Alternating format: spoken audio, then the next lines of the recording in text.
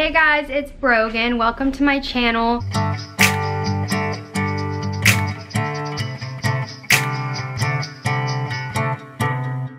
Thank you so, so much for all of the new subscribers. I'm seriously so thankful and so excited um, that I'm getting some more viewers. Welcome to the family. Royce and Aria are over there. Can you guys calm down? Calm down, Royce. They're crazy. I'm gonna have to send them upstairs. They're gonna be in the back. Royce, hi. Hi, you wanna be the star of the show? Go upstairs, Royce. Sorry guys, they obviously wanted to be the center of attention. Today I am filming a first trimester pregnancy question and answer video. I am almost 14 weeks uh, and I figured this was a good time to kind of go over how my first trimester went. A lot of people had questions and I just kind of wanted to update you guys. I asked Twitter some questions um, about my first trimester, what you guys wanted to know, and I selected a few to answer, so let's get right to it. So the first two questions are kind of similar, so I'm gonna read them at the same time. The first one is, what were your first thoughts when you found out you were pregnant? And were you completely surprised when you found out you were pregnant?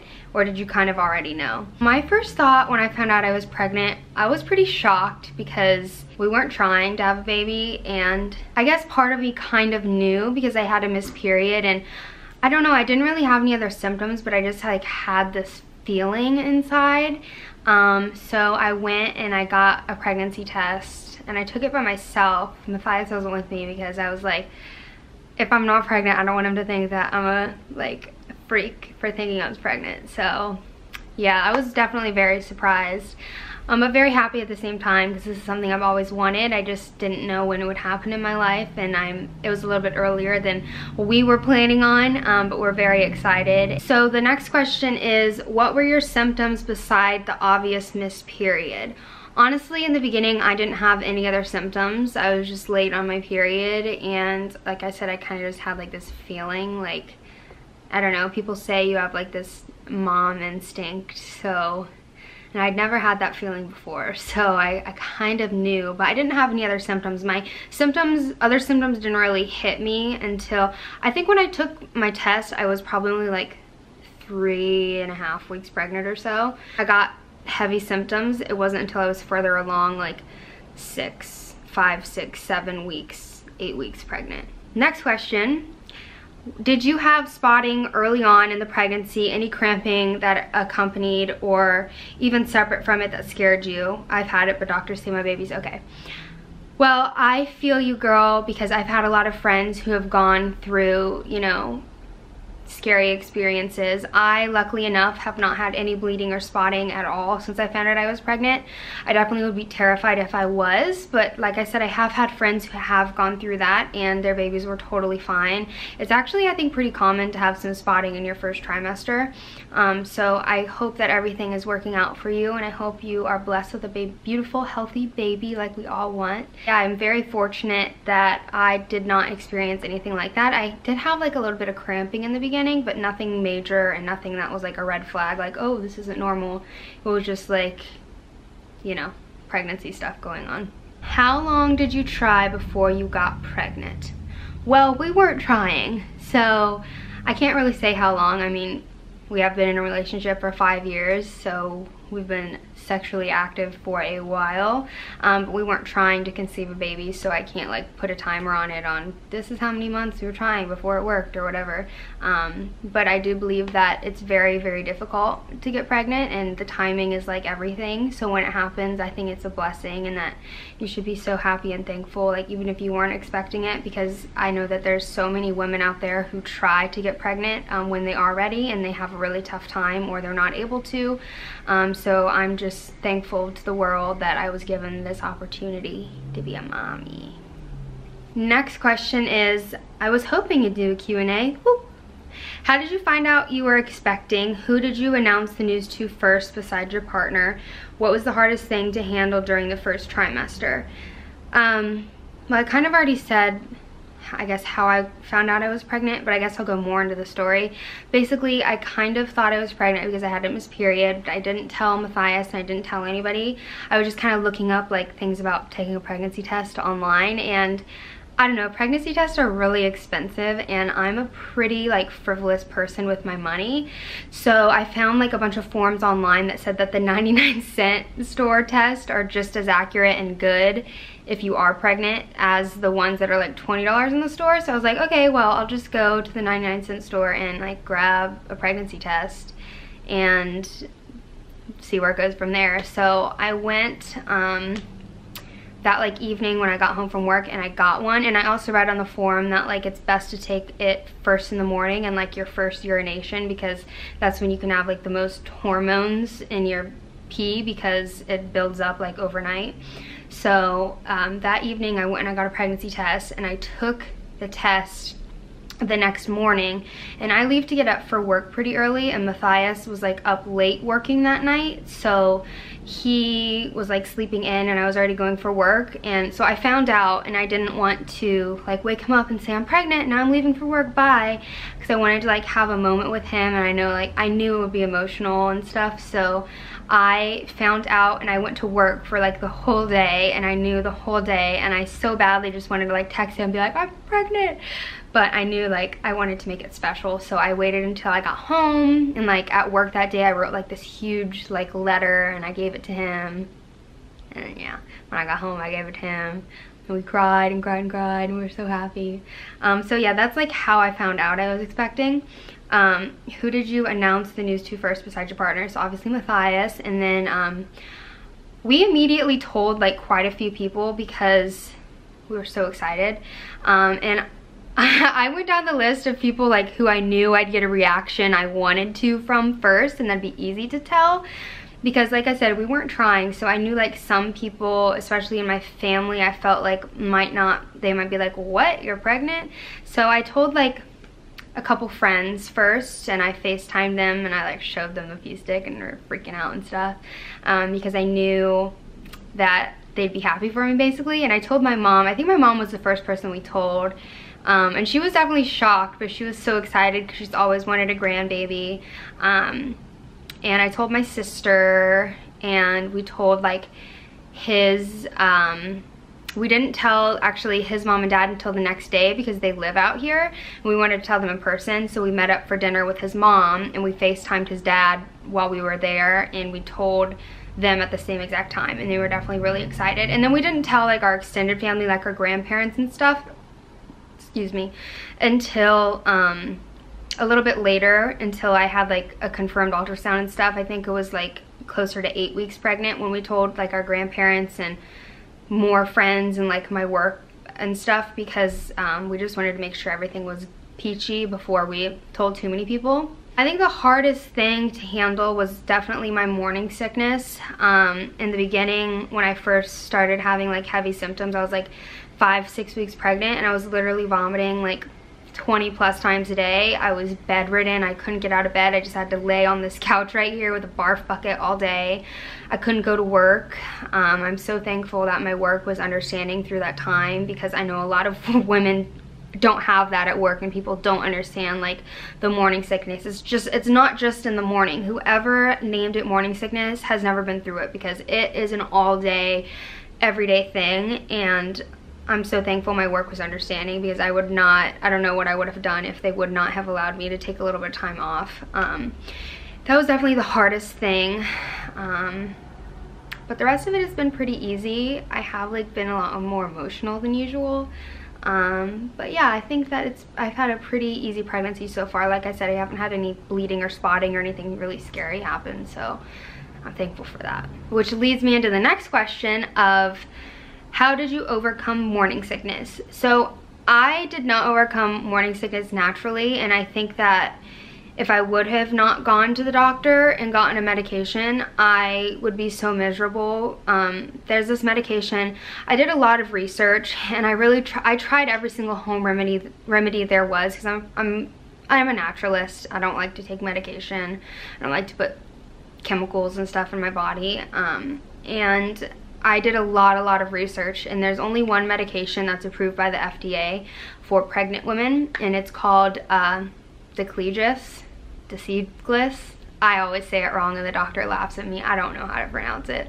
Um, that's why I did not go into medicine. Um, but yeah, it is a miracle.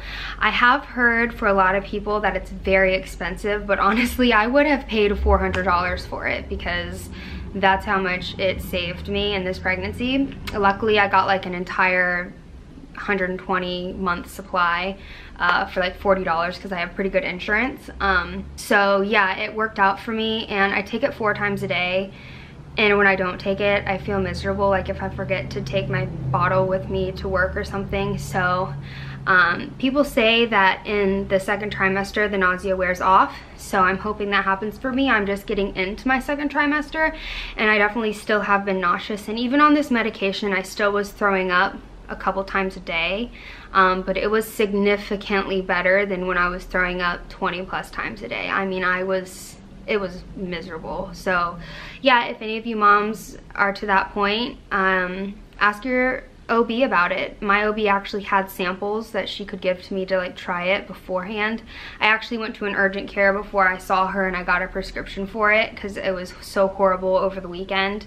And then when I went to her, she gave me some additional samples of it um, and a prescription.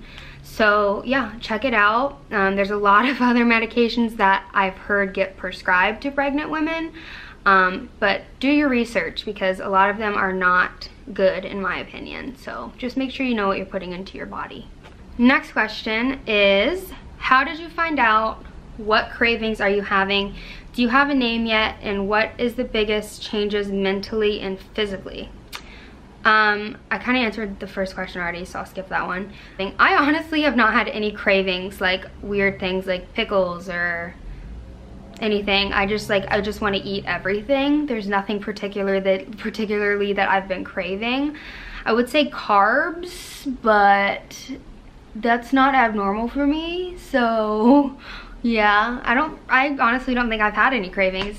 Maybe I have and I just don't realize it, but I just kind of like want to eat everything I see. Yes, we do have a name.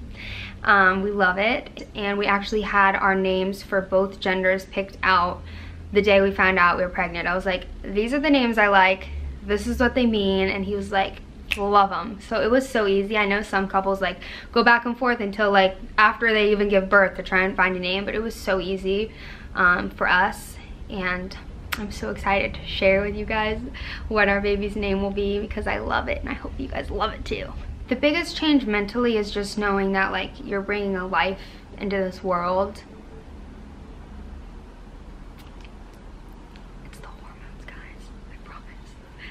and um, knowing that you have like this huge responsibility and I want to be able to give my baby like everything and give it the best life ever. So I think like mentally just like preparing yourself for a life I mean like being a parent is a lifetime job. So I think mentally like I don't know, that's been, not that it's been hard to grasp, but just like, that's like the biggest thing.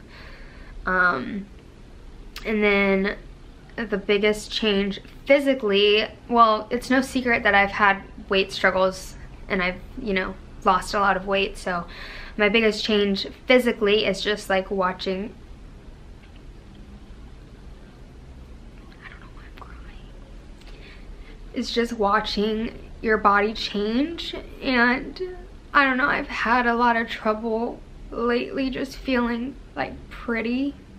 And I know I like I probably look the exact same to you guys but I know obviously that having a baby is a blessing and it's a beautiful thing and I can't wait until I'm like super pregnant so I feel super pregnant and I can like see that I have a baby because right now I just feel chubby and I can see like my face changing and I've had like a lot of acne and I never had that before this so yeah physically that's the hardest part. But I'm very happy and I'm so excited to be pregnant but you know I'm still human so those are my truths. The next question is have you started working on the nursery? If so does it have a theme Um, we decided that we, we do have two bedrooms upstairs and they're both actually quite big, um, but we decided that we're going to put our baby in the master bedroom with us, um, just because I feel like I'm going to be more comfortable with the baby sleeping near me so I can keep an eye and stuff. And I've had a few friends who've had babies and they always just end up moving the crib into their bedroom anyway. Um, and also Mathias runs a business out of our second bedroom, so we didn't want to, you know, have to totally change his whole deal. Um, and eventually, obviously, the baby will need its own room, so we will cross that bridge when it comes but for now like our master bedroom's plenty big to have enough space for the crib and all the baby's necessities um, and like I said I'll just feel more comfortable that way. So there is not really like a theme because I couldn't make it too like kitty and also that's just not me because it's partially my room so it'll be like more of a mature nursery. Um, but yeah there'll definitely be things to come showing what we're gonna do. Um, and also maybe that'll help some of you guys out who don't have an extra bedroom and you have you don't have the choice to put it in another room. You have to put it in your room. Um, so yeah. What has been the biggest change so far that you've had to get used to? Um, the biggest change so far, I'm not very like public about this, but I am, or I was, um, a big medical cannabis marijuana user. Um, I had stomach ulcers and I found that that um, was the only thing that would take my pain away and make me not nauseous all the time due to that. Um, and it actually helps a lot with my ADHD. So a lot of people aren't educated on it, but it's totally legal in my state. Um, so I think that would be the biggest change. It wasn't hard to stop using cannabis uh, at all, obviously. Um, there's just not enough research out about it. It didn't make me feel comfortable. Um, I do know a lot of people who have used it throughout their whole pregnancy because it helps a lot with morning sickness and stuff, but it just wasn't something I felt comfortable doing. Um, so I would say that that was like a big change for me because I was used to having that um, for anxiety and such too. So um, yeah, if I'm just, I'm putting it all out there guys. I'm being honest with you guys and yeah, that was a big change for me. It wasn't hard, um, but there was a lot of times where I was like, wow, that'd make me feel so much better right now because I was so nauseous and stuff. Um, but yeah. Next question. Yay, so excited. I'm glad you're excited, me too. Um, do you have any idea on how you want to give birth, midwife, epidural, hospital, etc.? Um, so yeah, when I started doing some research on the birthing experience, obviously this is my first time, um, I decided that I wanted to do everything as natural as possible. As I mentioned earlier in the video, like I'm a naturalist. I don't like putting things into my body. So the thought of an epidural is freaking scary to me. Like sticking a huge needle up your back and numbing yourself and like basically putting yourself in paralyzed state for a while is really scary. And also I read that like you can't feel what you're doing when you get that. So a lot of people tear because they're just pushing to push and they don't really know like what your body's trying to do. So I'm definitely, um, my plan is to have a natural birth. Um, don't know if we'll stick to that plan. I'm gonna try with every ounce of my being to stick to that plan, but um, you know, things could change in the moment and I'm not like gonna tell you guys that I'm doing it 100% because things could change, you know? There's a lot of things that that happen during birth and I've never experienced it before. So that's my goal, um, is to give birth naturally. Um, I wanted a midwife, but unfortunately like the insurance and stuff I have, it didn't really work out. And it's very hard to find a hospital in Los Angeles that, are, that will let a midwife deliver. They usually still call the doctor to do the actual delivery. Um, there's like only two hospitals that'll let a midwife do it and they weren't hospitals really near me. I wanted them to be like on, I don't know if you guys are familiar with LA, but I wanted like a hospital in the valley so I didn't have to go over the hill while in labor and stuff. Um, so I basically decided with an OB, a I am giving birth at a hospital because I just felt like that was the safest in case anything were to go wrong or if I needed extra care I just felt like your first time, that's the safest option. Um, I do think home births are like really cool and water births and stuff like that. So maybe next time around I'll do something different. Um, but yeah, that's my goal. I wouldn't say my plan because plans can change. Um, but right now that's my goal to have a natural birth. And also that's what my mom did and that's what Mathias's mom did. And they both had two kids. So I feel like I have some good insight and um, I hope that I can stick to it because I think that a woman's body is definitely made to do this. How many kids do you plan to have in the future and how excited are you on a scale of 1 to 100? Second question first. I'm about an a billion on a scale of 1 to 100 of excitement. um, I definitely want a few more kids. I don't know how Mathias feels about that.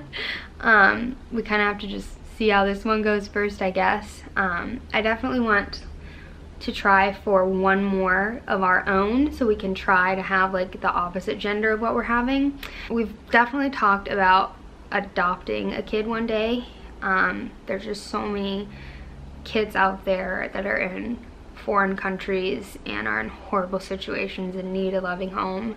So we would definitely be open to doing that someday. I know that adoption is really expensive, so I don't know if we'll ever be able to do it. Um, but that definitely is something that we're open to and would love would love to do. Um, also, I would love to like foster kids someday. I don't know that much about it. Um, but I have some family friends who have done it and I think it would be really awesome if we had like a big enough house someday to be able to foster some children who need it. What would you do if you went into labor on Christmas or Christmas Eve? So if you don't know, my due date is December 29th. And honestly, that's my biggest fear is to go into labor on Christmas Eve or have a baby on Christmas. But it's so out of my control and at the end of the day, all I want is a healthy baby. So whatever day it decides to come on, I don't care obviously it's not ideal to have a baby on Christmas or New Year's or New Year's Day or New Year's Eve or whatever, but out of my control. So that's kind of just what I'm telling myself that if it happens on one of those days so be it as long as my baby is healthy. Um, that's all I care about. The last question is are you vlogging the birth? Absolutely. That is something that I want to remember forever. Um, that's my plan right now. Like I said shit can go pretty unplanned during birth. So I don't see a reason why we wouldn't vlog it um, but our plan is to definitely vlog it. I'm hoping to have a friend actually in the room with me when I give birth to vlog it for us. Not particularly just for YouTube, but mainly just for us to remember and to show our kids someday. And because I want to share it with you guys. It's so special and awesome. Thank you guys so much for tuning in. Um, I'll show you my belly if you want. Like this was never here before. This is so not me. Next week's video is going to be our gender reveal, so make sure you click that subscribe button wherever it is. I don't know where it is. Don't miss it because it's going to be epic. And I know you guys have all been waiting for it. And we have enjoyed knowing ourselves for a few weeks. And now we're ready to let all you guys know. So thank you, thank you, thank you, thank you for being a part of this journey and a part of this family. We love you so much. We'll see you next week. Bye. She's so chubby. She's so chubby. But we love her. But we love her.